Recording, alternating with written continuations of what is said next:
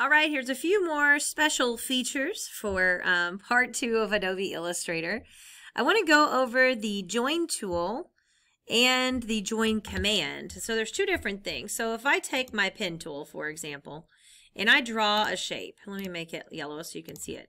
I click and I click and I click and I click and I click and I click, but let's say I don't close this shape. Let's say I stop it here. What you can do, you just basically hit escape on your keyboard and now it stops. But what you'll notice is because it stops, it doesn't connect on the end. So you can join an incomplete path using the join tool. You simply have to go to the direct selection tool and select both of these points, or you can grab the lasso to select both of the points. And it's as simple as, ready? Control J, join and it will automatically join them. And then of course, if something doesn't work, like if it's too bumpy, pull your pen tool options out here. And then like there's an extra path there, I might go to minus and get rid of that anchor point. Now it goes straight through there. Um, remember, of course, you can also convert points. There's a button here to do it too. Um, so I can take this little button here and select this point. And if I hit this convert button, it makes it round. Or if I hit this one, it makes it pointy. Or if I'm on this little guy, if I click and drag, then I can control it and decide where I want it to be. Or if I change my mind, just go back to it, click it, and switch it back. Easy peasy. Same thing, we can always put a plus somewhere along the path if we want, grab it with our um, white uh, arrow, and then adjust it as we see fit. So that's the join tool. Control J is the join tool. Now there is a join command. And that is, let's say you're not good with drawing with the pen, but you like to draw with other stuff. So for instance, I can draw a line with my line tool, and then I can draw like another line connecting to that line with my line tool. But technically, they're not connected. And then let's say I, I go here, and I draw another one that's like a curvy line, for instance. And then I'll hit escape. So now I've got a couple of lines. Oops, grabbed a hold of that with the wrong tool. Sorry, black arrow tool. So now I've got a couple of lines. I got one that's going like this, and I got this little guy here. Um, but let's say I want to connect them. Let's say I want to connect these guys. Or let's say, um, let me draw another curve. Uh, so we'll go here, and then we'll hit that and then I'll hit escape. All right, so let's say I'm going to connect this down here, kind of like so. And then when it's all done, I'll join those two. So now I have a bunch of pieces, but I cannot fill them in because they're all separate pieces. And that's what the join tool is for. You can join if you've got um, a path that has multiple points. Um, the join tool is hidden underneath one of these guys. Now I have to try to remember where. Um, but once you find your join tool, you can select the points, kind of like you do with that lasso tool. You just kind of paint across the intersection. So where they intersect, which by the way is almost impossible to tell on this one, where they intersect is where you're going to connect them. There, that one went. And it's really kind of hard to tell. You have to go back out and then try it and see. So like that one's not connected, but now all of this is connected. I've got to find the point here. So it's right in here someplace. Um, so I'll grab that join tool again, and I just want to paint right there in that area. And they have to overlap, so I might, I may just probably don't have them overlapped. Let me scoot it over a little bit. There we go. Let's see if that works. I'll uh, kind of figure out where that area is. There we go. That did it. And now we've got those all connected. So now this is all one big path, which means I can fill it in.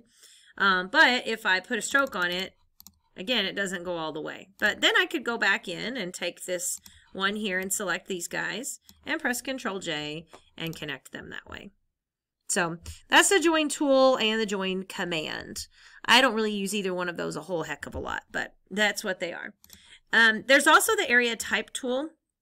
So like, let's say I wanted to type in this blob right here. Instead of using the normal type tool, I can choose the area type tool. And then I can click inside this path And actually, I think you have to kind of click on it, but then it knows it goes inside. Now, it's no longer a shape anymore.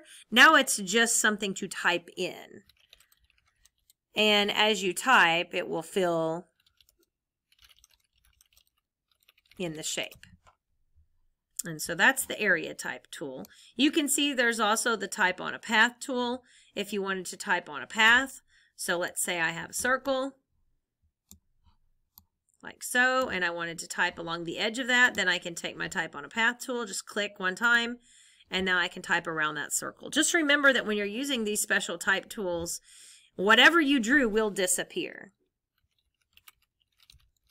And so now you're just dealing with what you have, you know, up here. So like if you needed a copy of that circle, you probably need to alt drag and make a copy before you click to type on that path. That's kind of a really big deal um, on that one in order to get it to work properly.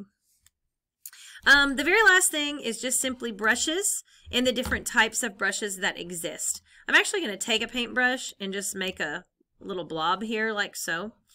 Um, but I want to show you the brushes panel. So window brushes, we should know by now that we can use anything in the brushes to stroke something. So here's my path. I can click on this and it strokes it in that. I can click on this and it strokes it in leather rope. So that's always a good time. Um, but you can load any other brushes and do the same thing. But brushes act differently. Like see this one is a pattern brush. It's in a pattern and the pattern goes around.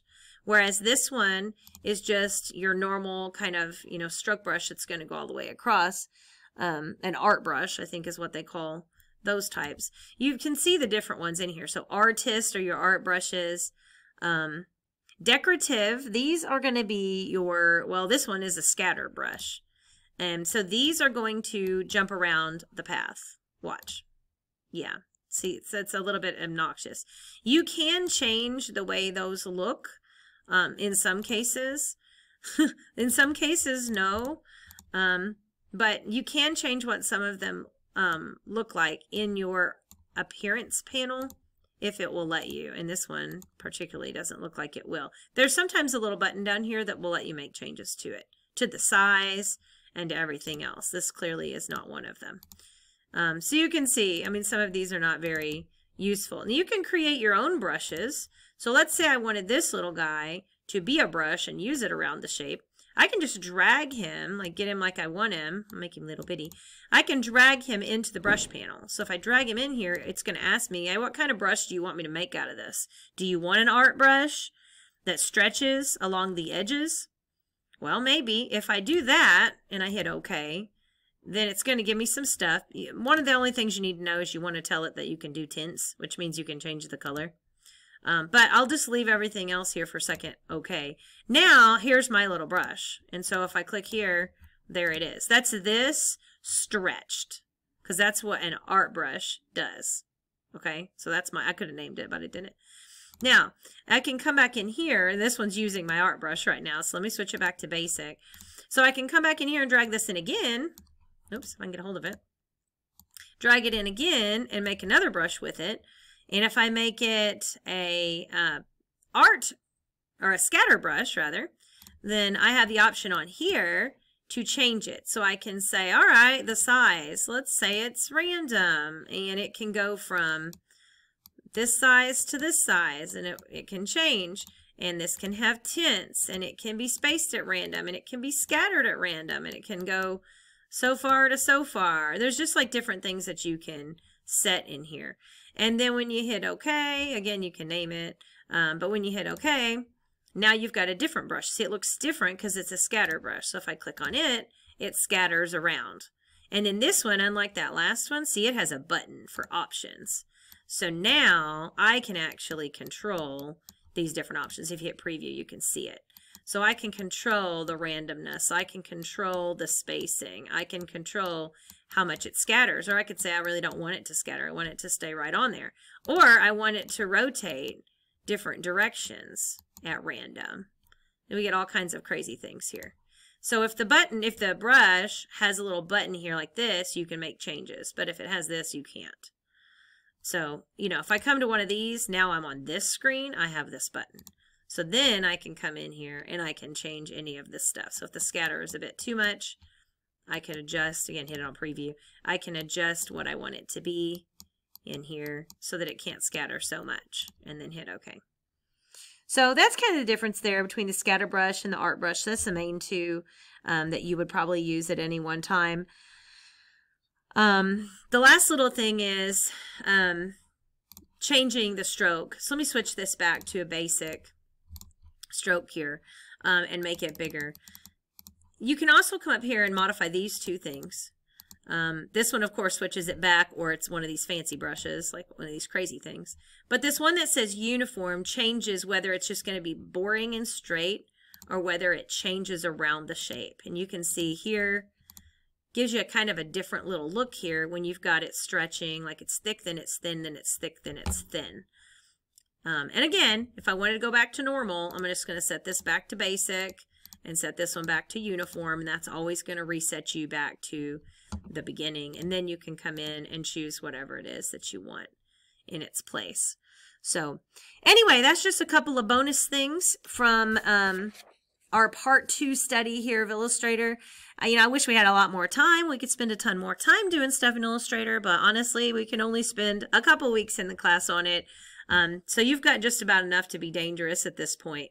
Um, the very, very last thing I want to mention is your pen tool. When you're drawing with the pen tool, you don't have to just click and let go and click and let go and click and, and seal it up to create your shapes. You can create shapes that have curves. It's hard to do, and in the sake of time in this class, we don't spend a bunch of time on it. But like, if I was going to type on a path, I could click, and then on this other side, when I click, I'm not going to let go. So I'm not letting go, and I'm dragging. And when you drag, you create a curve. Now, if I were to continue, I could come back here and click and drag, and it would, you know, I could change how this thing goes or whatever. Um, and then, of course, you can go back to your white arrow tool and you can make changes to your whole shape. So people who are really good at Illustrator are really good with the pen tool. Um, you know, like they'll start off and trace around something and click and then like click back here to make it pointy and then come back and then like click it again and make it round again and you know like they'll just they can do all kinds of stuff and they're then you can take the rotation points here and turn these guys and make them go a different direction. You know, but again, we don't have a ton of time um, to get into the pen tool. But if you're ever bored, it's definitely something to play around with um, in Illustrator because people who are good illustrators are excellent with the pen tool. So, all right, there's you some information to make you dangerous.